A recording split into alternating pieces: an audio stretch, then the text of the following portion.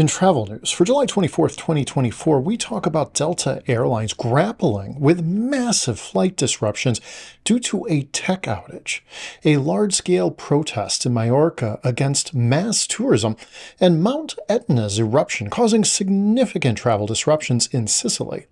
But before we begin, I'm Brandon with the Adept Traveler, an award winning travel agency that makes travel so easy. Even a blind traveler like myself can do it. And now, today in travel.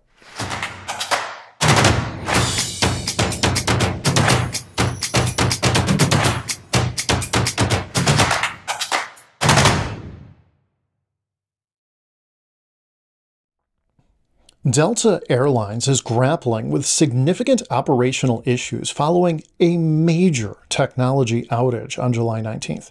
The disruptions have resulted in thousands of flight cancellations and delays, affecting countless travelers. The U.S. Department of Transportation has launched an investigation into Delta's handling of the situation. The July 19th technology outage has continued to disrupt Delta's operations, with the airline struggling to restore normal service.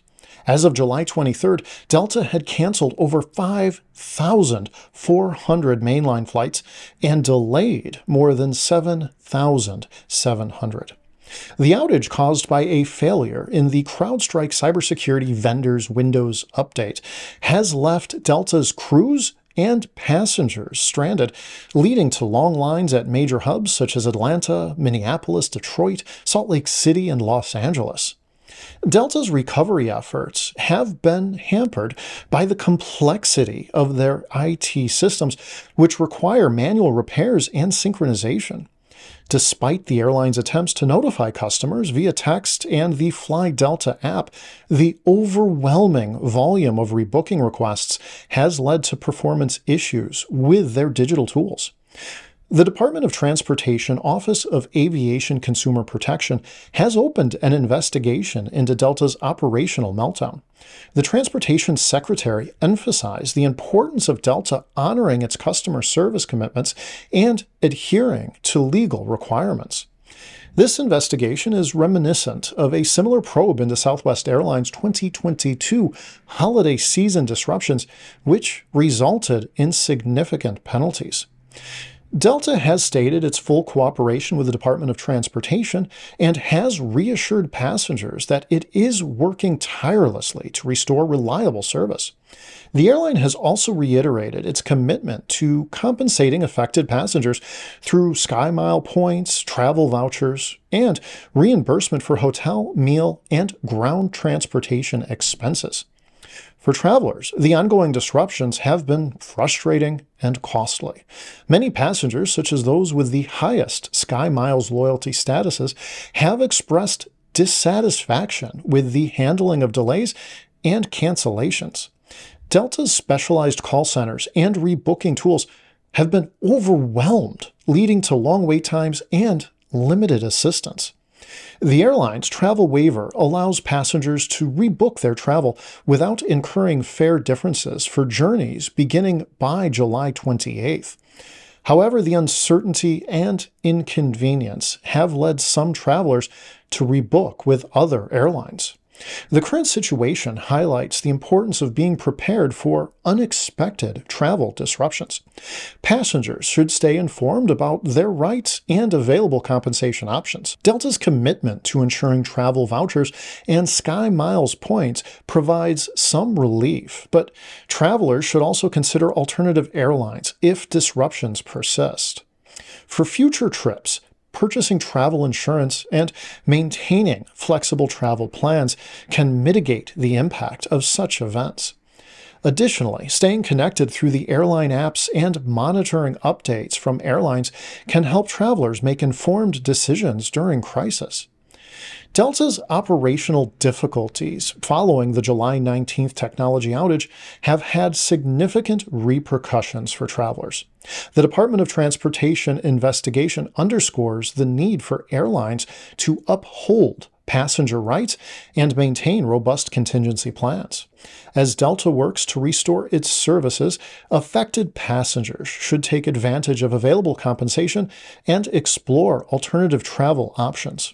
If necessary, The situation serves as a reminder of the importance of preparedness and flexibility in travel planning.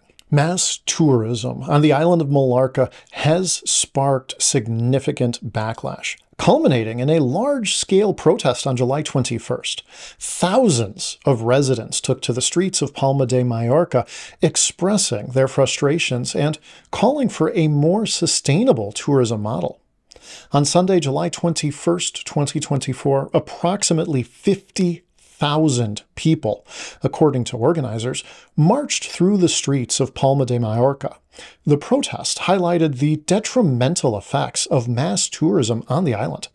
Participants carried signs with messages such as, Tourists, we love you when you don't buy our land, and Your paradise is our nightmare.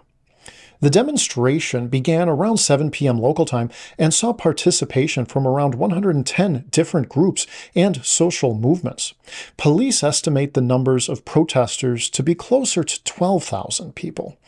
The primary demands of the protest included limiting the number of tourists, improving access to housing, enhancing public services, and conserving natural areas. Majorca, the largest of the Balearic Islands, is a popular tourist destination that welcomed 14.4 million visitors last year. While tourism is a significant economic driver, it has also led to several adverse effects on the local community. Residents argue that the current tourism model primarily benefits a small segment of the population, leaving many workers impoverished. The influx of tourists has contributed to a housing crisis, with locals finding it increasingly difficult to afford homes due to rising property prices driven by demand from travelers. Public services are also strained, struggling to keep up with the increased population during peak tourist seasons. Additionally, the environmental impact of mass tourism has raised concerns about the sustainability of the island's natural resources. One significant factor contributing to the housing crisis in Mallorca is the prevalence of short term rentals, such as those offered by Airbnb. Locals claim these rentals reduce the availability of affordable housing for residents, driving up property prices and making it difficult for local families to find suitable accommodations. The high demand for tourist accommodations often leads property owners to prefer short term rentals over long term leases, exacerbating the housing shortage and inflating rental costs. The protest in Mallorca is part of a broader trend of anti tourism sentiment in Spain. Earlier in July, demonstrators in Barcelona sprayed tourists with water and marched through the city chanting, Tourists go home.